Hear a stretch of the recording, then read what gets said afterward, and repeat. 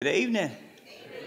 It's good to be back in God's house again tonight. Good to see this good number out on Sunday evening worship service. I enjoyed the service this morning and I um, want to thank the church for their vote of confidence in me this morning. Pray for me. I need your prayers. That Lord will keep moving, keep using me, folks. Let's, let's be obedient. Whatever God wants us to do, let's do it. If God puts a song on your heart, let's sing it. If God puts a testimony on your heart, let's get up and testify. If we will be obedient, well, God will keep blessing. Good for me to be here. Has anybody got a testimony? Prayer request? Anything like to say?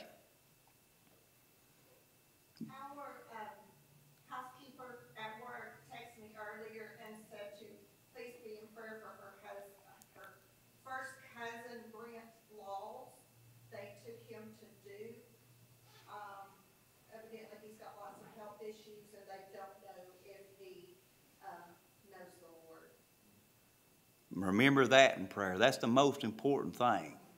You know, you can you can go to heaven. You can start to heaven sick, but you won't be sick when you get there. But boy, you have to be born again, as I preached this morning, if you're going to make it to heaven. Anyone else have a testimony or prayer request? Anybody before we come and pray? Anybody got any unspoken? Go ahead, brother. Yeah, remember that in prayer. I requested prayer for uh, our neighbor this morning. He's going to have to have his foot amputated. And I talked to him this week about his salvation.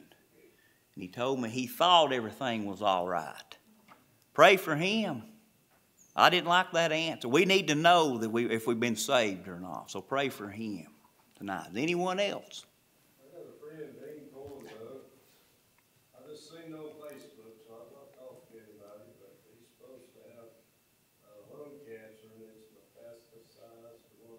Yeah.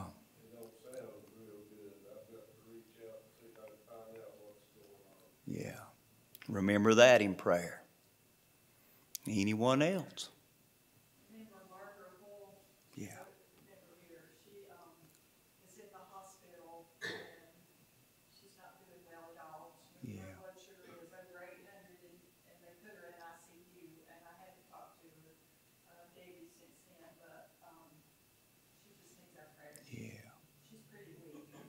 Remember that in prayer tonight. Yeah. Anyone else?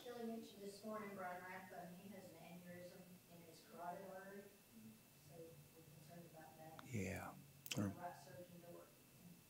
Remember that tonight. Anyone else? If no one else, everyone would like to, let's come around and go to the Lord in prayer. And we'll get into the service.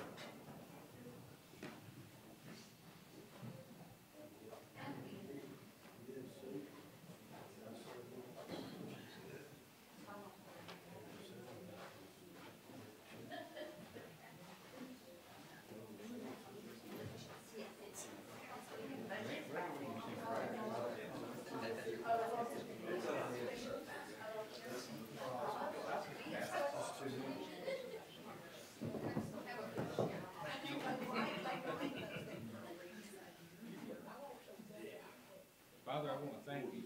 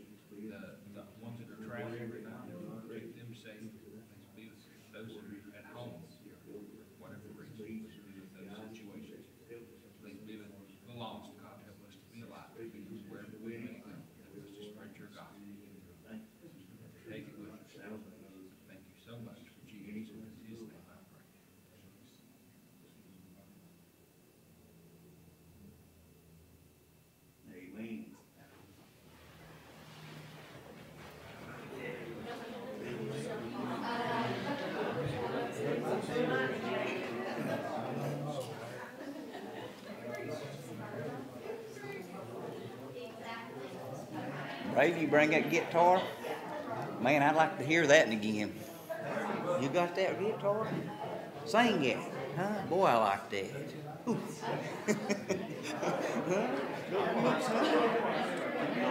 good, that's good. You want to sing that?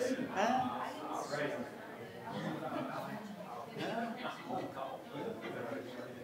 That's good. You want to sing it? oh.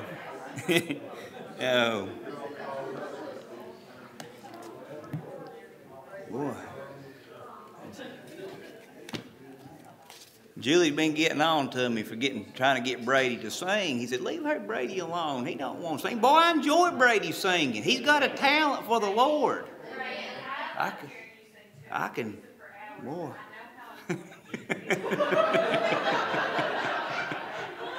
oh. I'm not trying to. I'm not trying to be annoying, Brady. I enjoy you singing. You got a talent for the Lord. Well, you need to use it. Anybody else got a song? Billy? Huh? That remember, be obedient. You got a song that the Lord's put on your heart. Daniel, up in the booth, you got a song. Carol, you don't have to listen to me preach every night. We can just turn this into a good song service tonight. Good for me to be here. If you have your Bibles, we're going to be looking at some scripture. We preached in John chapter 3 this morning. Turn over one more chapter to John chapter 4. Going to be looking at some verses of scripture found in John chapter 4, starting with uh, verse 3. And the thought that I've had, I've been thinking about how people are searching for peace searching for satisfaction. You look at the world today, folks, are they not searching for something? Is there not an emptiness, a void? Why do people turn to alcohol, drugs? Why do people work, work, work, bury themselves in work? Why do they turn to sex? Whatever it might be. Folks, I believe that they're searching for something. There's an emptiness, there's a void in their life. We're going to look at the woman at the well tonight.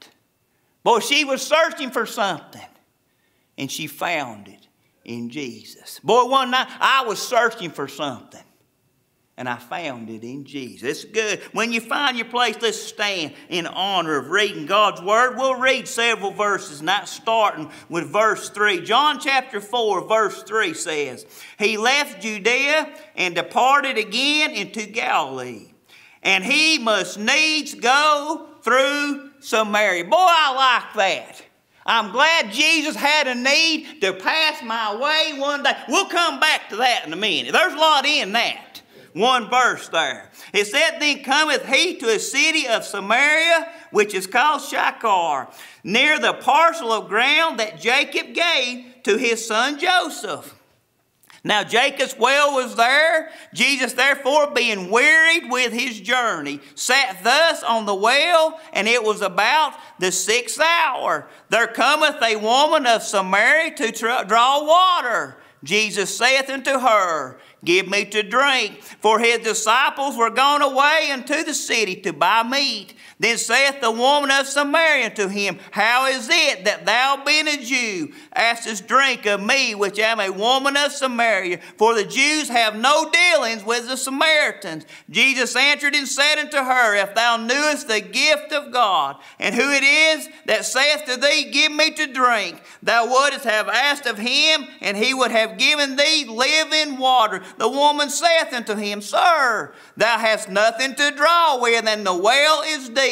From whence then hast thou that living water? Art thou greater than our father Jacob, which gave us this well? and drank thereof himself and his children and his cattle. Jesus answered and said unto her, Whosoever drinketh of this water shall thirst again, but whosoever drinketh of that water that I shall give him shall never thirst, but the water that I shall give him shall be in him a well of water springing up into everlasting life. Boy, I like that. I'm glad I got a drink of that water one night, folks. I was lost on my way to hell. And, folks, I got a drink of that living water. Aren't you glad that you're saved tonight? You may be seated. I'm going to go to the Lord in prayer. Lord, we thank you for this good day that you blessed us with, Lord. Thank you for the reading of your word, Lord. Pray that you just be with me just for a little while, Lord. Give me the words today to say, Lord, season this message with the sweet Holy Spirit, Lord. Lord, pray that you just touch hearts. If they be in need, whatever it might be, Lord, just speak to that heart. Pray that you just help us as Christians, Lord. Go out to a lost and dying world and tell them about you. Lord, we love you and thank you for everything. For in Jesus' name we do pray. Amen. I'm going to try to calm down a little bit tonight. I thought I was going to just lay back, but I can't do nothing calm. If you ask my wife, everything I do, I have to do wide open, it seems like. But I'm going to try to slow it down just a little bit. I've lost my voice this morning, so pray for me. I'll try to scale it back just a little bit if I can. I don't know if I can. But here I was thinking, what a contrast here between this morning's sermon and tonight's sermon. What a contrast between Nicodemus and this woman at the well. One was a man, one was a woman, one was a ruler, one was a social outcast, one was a Jew. One was a Samaritan. Boy, there's a big difference in these two here. One came in the cover of the darkness. One come in the middle of the night. But boy, I thought about one thing. They had one thing in common. You know what that was? What does each and every one of us have in common? Folks, we all were lost, needing a Savior. It didn't matter if you was the rich ruler like Nicodemus or this poor social outcast of a woman. But folks, they both needed to be saved. They both needed to hear about Jesus. Let's look at this woman just for a little while. Verse 3 said, He left Judea and departed again into Galilee, and he must needs go through Samaria. Then cometh he to a city of Samaria, which is called Sychar, near the parcel of ground that Jacob gave to his son Joseph. Now you get you a Bible map and look at it. Jesus and his disciples are leaving Judea, heading north to Galilee, is what they were doing. And to get there, you could go three different routes. The shortest route was to go through Samaria. That was the shortest route. Or you could go up the coastline or you could go the harder way, crossing the Jordan River two times. You know what the Jews did most of the time? They went the long way around. They did not want to go through Samaria. Why? Because the Samaritan people were an outcast. They were a nobody. They come about when the Assyrians came in and took the ten northern tribes into captivity. They hauled off all the people and left the, the nobodies behind. And then they brought in other Gentile nations and they mixed and married.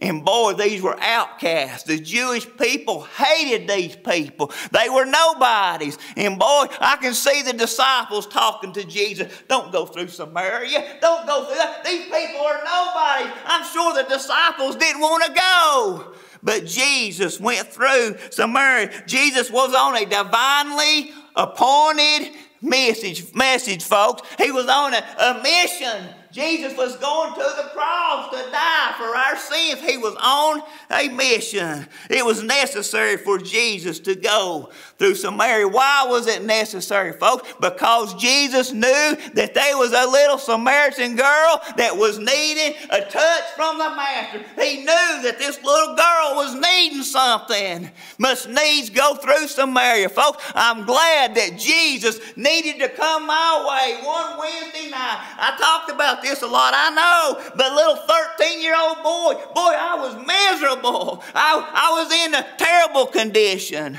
I could not sleep. I was scared to go to sleep at night. And, and you might say, well, you couldn't have been that wicked. No, but I was just as lost, folks, as that murderer, whatever it might be, that adulterer. I was on my way to hell. But I'm glad that Jesus passed my way that Wednesday night. Aren't you glad that Jesus passed your way one day? It was much needs that Jesus go through Samaria, I'm glad Jesus passed my way one day. Boy, that's good. Bible says, verse 6, Now Jacob's well was there. Jesus, therefore, being wearied with his journey, sat thus on the well, and it was about the sixth hour. This would be twelve o'clock in the day. There cometh a woman of Samaria to draw water. Jesus saith unto her, Give me to drink. You notice that. Jesus was weary. Jesus was thirsty. You know what that shows, folks? That shows us the human side of Jesus. See, he was a hundred percent man and he was a hundred percent God. Jesus was got tired, folks. He felt pain just like me or you. Jesus was thirsty.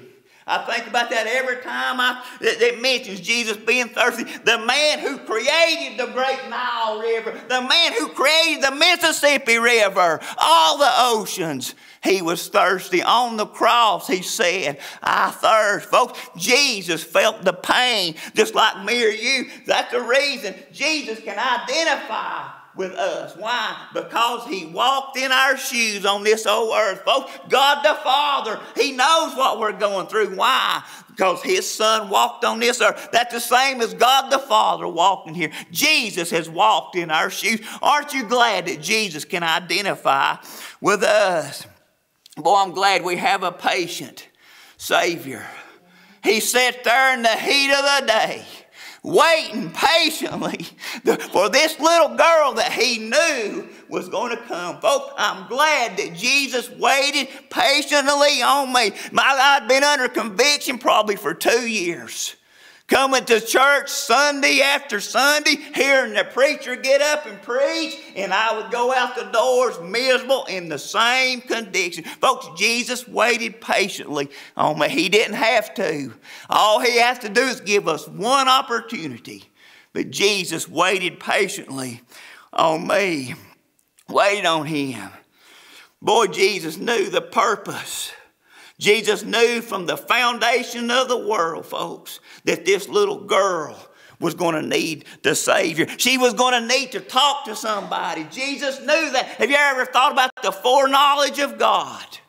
Jesus knew from the foundation of the world that he was going to have to come and pay the sin debt of the world. Think about knowing in advance how much pain you was going to have to go through, folks. But yet he stepped off the throne, he took off his robe and his crown and told the Father, said, prepare me a body and I will go and be a sacrifice. I will pay for Doug Mathis's sins and the sins of the world. Jesus knew all that.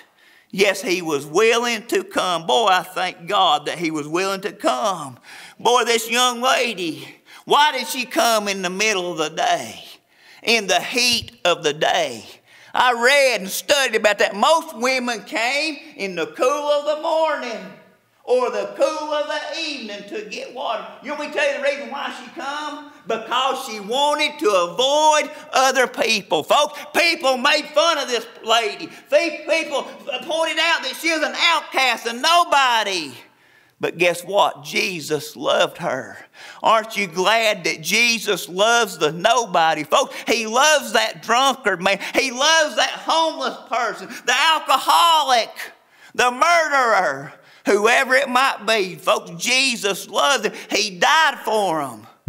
For the whole world could be saved if they'd only turn to Jesus. And what? Get me a drink of water. My throat's going to give. I said I was going to be calm, I? Oh, that's good. Verse 8 says, For his disciples were gone away into the city to buy meat. Then saith the woman of Samaria to him, How is it that thou, being a Jew, askest drink of me, which am a woman of Samaria? For the Jews have no dealings with the Samaritans. Well, that stuck out to me, that verse 8. For his disciples were gone away into the city to buy meat. Now, here I got a picture in my mind. The disciples are heading out to Samaria. She's coming from Samaria. They had to pass each other somewhere, didn't they? I can see them disciples going way around her, not even looking at her, folks. The disciples of Jesus, because they had no dealings with the Samaritan. She was an outcast. She was a nobody. I thought about the man that fell among thieves on the Jericho road. Did I preach out here? I think I did, didn't I? The man that fell among thieves on the Jericho road. The priest passed him by. The Levite passed him by. They did nothing to help that person. Folks, that represented the law. That represented the sacrificials. It did nothing, folks to take away sin. But boy, that good Samaritan, it represented Jesus. What did he do? He come by, he got off of his beast, and he come got down and he doctored that man. He took care of him. He got up, put him on that animal. He walked and he led him to the inn. He gave that innkeeper some money said, Now you take care of him. If this is not enough, I will pay you the rest. Folks, Jesus is that good Samaritan. Folks, the disciples passed him on by. They did nothing. Jesus did not pass this girl by. She had probably shocked this woman because Jesus asked her for a drink. Him being a Jew, I read where Jewish men didn't even talk to a lady out in public. She was probably shocked that Jesus spoke to her. Folks, Jesus lay aside social customs. He lay aside all that. This woman's soul was what mattered to Jesus. Folks, Jesus came to seek and to save those that was lost. That's what mattered to Jesus. Third chapter, it was Nicodemus that Jesus come to. Here in the fourth chapter, folks, it was this lady at the well. It didn't matter whether you was rich or you was poor. It does not matter your status of life, whether you're male, female, rich or poor. Jesus came to seek and to save those that was lost. Boy, that's good. Verse 10 says, Jesus answered and said unto her, If thou knewest the gift of God, and who it is that saith to thee, Give me to drink, thou wouldst have asked of him, and he would have given thee living water. The woman saith unto him, Sir, thou hast nothing to draw with, and the well is deep. From whence then hast thou that living water? Art thou greater than our father Jacob, which gave us the well and drank thereof himself? and his children and his cattle. Notice what Jesus did there. What, what did he do? He drew this young lady into a conversation. Think of the opportunities that we have each and every day on our jobs to draw people into an everyday conversation in a roundabout way. Let it tie right back to Jesus some way. And I preached about this this morning. How often do we talk about the news, sports, politics? We go everywhere but Jesus. We talk about everything. Why can we not talk about Jesus? Notice what Jesus did. He drew her into conversation. He got her curious, wondering about some things. Folks, if we can only get people curious, wondering about some things. Hear us talking about the services we've been having at Ochre Hill Church. Boy, they get to say, what's going on there? We need to come and check that out. Folks, we get excited about everything but being a Christian, it seems like. We need to get excited about being a Christian. Draw people into everyday conversation. And before it's over, tell them about Jesus in some way. I need help with that. I have opportunity after opportunity. Lost people all around me at Western. If I'm not real careful, I'll talk about everything but Jesus. Folks, Jesus should be our focus all day long. Tell them about Jesus. Jesus was going to point out some things to her who he was, what he had to offer, and how she could get it. Folks, is that not our job as Christians to, to tell people who Jesus is, what he can do for them? and how they can get it. Nicodemus, he didn't say why, he said how. He said, folks, when people, they start asking why, they start, how can this happen? You have to get people lost before you can get them saved. Get them curious, asking questions, and then tell them about the plan of salvation. This woman didn't understand what he was talking about. Jesus was talking about physical water. Nicodemus didn't understand this more. He thought Jesus was talking about a physical birth. Jesus was talking about a spiritual birth.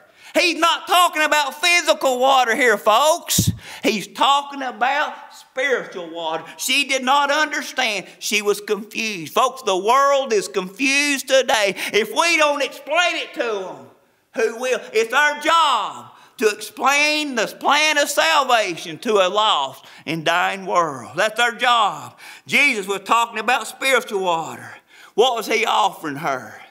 He was offering her eternal life. Folks, he offered it to Nicodemus this morning in his sermon. He told Nicodemus, You must be born again. He was offering that to him. Verse 13 Jesus answered and said unto her, Whosoever drinketh of this water shall thirst again.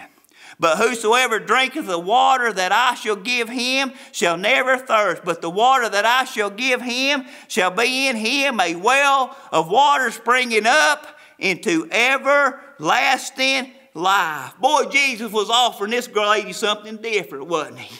Something that she had never experienced before. And I thought about her. No doubt her life had been a disappointment. She maybe thought when she got married the first time, she said, Boy, I'm going to be with this man forever.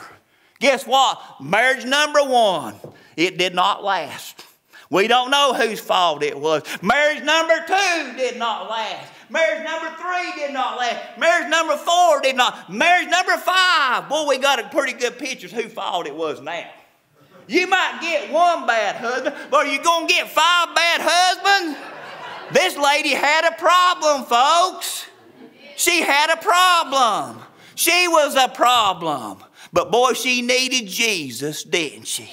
And this lady here, she had a problem. She had tried everything. She had tried marriage five times, and she said, I'm not going to worry about marriage anymore. We're just going to live together, folks. Is that not what the world is thinking today? We don't have to get married. We'll just live together. Folks, we can't do that as Christians. We need to get married. Folks, God honors marriage. He does not honor people living together. That didn't cost you nothing. People try everything in life to get satisfaction. They try everything, whatever it might be alcohol, drugs, sex, money. This lady had tried everything. Folks, she had looked for pleasure and satisfaction in what? In men, folks. And she had been left empty. There was still an emptiness, a void in her life. Thought about King Solomon. I've been working on a message that I hope I get to preach here about King Solomon. I, King Solomon is a great example for us as Christians. King Solomon Boy, he started out good, didn't he? Wisest man that's ever been. Tried all the pleasures that was out there. He tried all the pleasures in women. Read about him. He had 700 wives and 300 concubines. He tried in money. King Solomon was the richest man, the richest king that you will read about. He had more money than he would ever spend. He tried it in wisdom. Smartest man that's ever been. Nobody's been any smarter than King Solomon. He had fine houses, vineyards, servants, everything that you would need. But along the way, King Solomon took his eyes off God and he walked away from God. What did God have to do to him? God had to take King Solomon to the woodshed. You ever been taken to the woodshed? Boy, I've been taken to the woodshed before. When God takes you to the woodshed, you'll know. God told King Solomon, I'm going to rend the kingdom from your hands. King Solomon wrote the book of Ecclesiastes looking back over a misspent life. Look at the potential King Solomon had. He said, Vanity of vanities.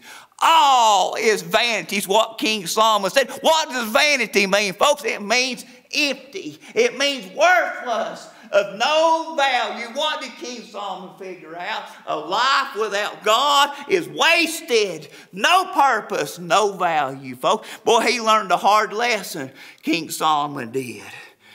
They tried everything, and I'm afraid the world today, they're trying to find peace. They're trying to find satisfaction, but they're looking in all the wrong places. Folks, it's our job as Christians. I believe the world is searching and looking for for somebody to just tell them about Jesus. And that's our job as Christians to be that light to a lost and dying world. Boy, she said, Sir, give me this water. That's what I said when I come to the altar. And I'd went as far as I could go. Boy, I was thirsty. I wanted a taste of that water. She wanted some of this water that she would never thirst again. And folks, she left a changed woman. What are you talking about, preacher? Go on and read a little bit more. Verse 28 says, The woman then left her water pot. Boy, she left some things behind, did she, when she met Jesus? She left her water pot behind. I preached about that this morning. When Jesus comes in, folks, that old devil gets put out there's going to be a difference in your life. You're going to leave some things behind. She left the water pot behind. She said, verse 29, Come see a man which told me all the things that I ever did. Is not this the Christ? Folks, what did she have after she met Jesus? She had a testimony. Each and every one of us, we should have a testimony. When we leave this church tonight, let's go out next week and let's let our light shine, folks. Let's have a testimony to a lost and dying world. You never know how many people maybe got saved because she went back to the town and told them, Boy, I met a man that told me my whole life story. Come see this man, folks. The world is waiting. They're wanting us to tell them about Jesus. I believe God places each and every one people in front of us that we can reach more effectively than anyone else. That's the message. Folks, I hope and pray that I've said something that's been a help to someone. Would they be a need here tonight? Everybody looks good to me, but would they be a need? Maybe you just want to come pray about something tonight. Maybe you just want to be a better Christian tonight. Does anybody need to come pray tonight? Give out, y'all preaching me to death. No, I need a stronger voice. Anybody, it's been good for me to be in God's house tonight. Good to be saved. I'm glad that I have that peace. I know you get tired of me talking about my peace, folks, but there's nothing like this peace that you have after you get saved. Money can't buy that. Nothing wrong with money, but it does not buy peace that Jesus can give. Anybody got a testimony? I just have something to say. Yeah. Uh, being saved. Something I heard recently was uh, uh, an individual had told me um, that one of the things that he's seen most over his years in church has been the light shine, the light within Christians fading out even after they got saved. Yeah. Yeah. It's been very, very great to see every single time I've been here in this church to see that light does not really fade. Yeah. Yeah.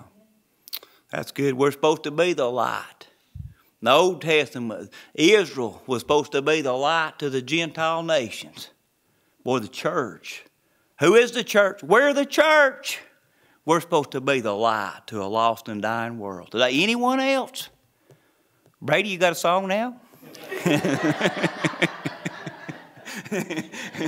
oh, anybody, Daniel, Carol? We can go home if you want to. We can keep worshiping. All right. I did my part. If you want to take a whooping, you'll just have to take a whooping. no, I'm just playing. Anybody else got anything like to say for the Lord?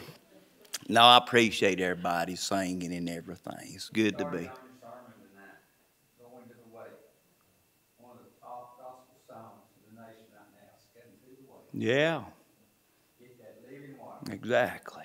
Nothing like it, are they? Like I got a drink of that living water. Never forgot. Never, ta- never tasted anything like that living water. You get a taste of that. That's the reason it bothers me. People can just be in church and out of church. I can't get away from it, folks. This living water, that peace. See, I've been out of God's will. I've lost my peace and joy before. I didn't say to lose yourself. I said my peace and joy.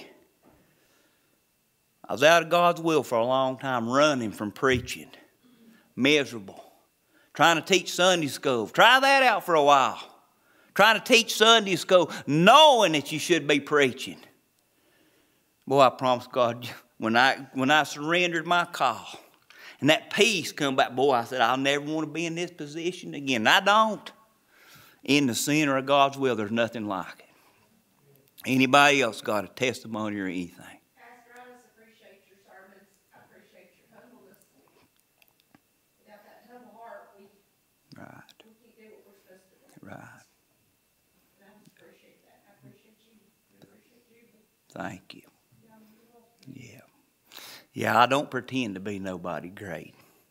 I'm just a simple man trying to do a simple job the best way that I can. So just keep praying for it. It's nothing that I'm doing, it's what God's doing through me. Just trying to be obedient is what I'm trying to do. Anyone else? Well, good. Y'all want to go home? We want to keep testifying. Yeah.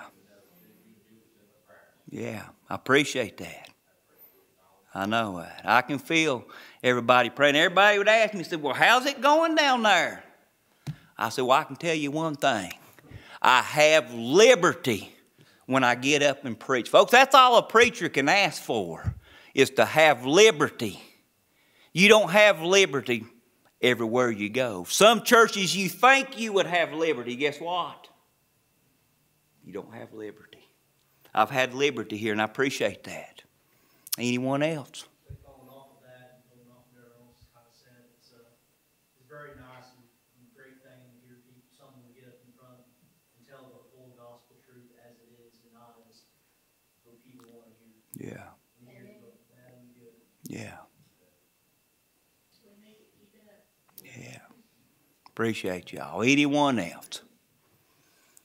If not, be praying for the Wednesday night service, the Lord's Closet. I enjoyed that last time. That was my first time. Boy, that's a good work. You never know that act of kindness, helping someone. That's what it's all about. Folks, and I was going to talk about that tonight. We'll never win someone to the Lord by downgrading by telling them how sorry that they are. But boy, we can win by showing them love. The love of Christ. That's what it's all about. Anyone else? I'll get back to preaching. I got some water in me now. If not, we will stand and I'll ask Brother Rob to dismiss us in prayer.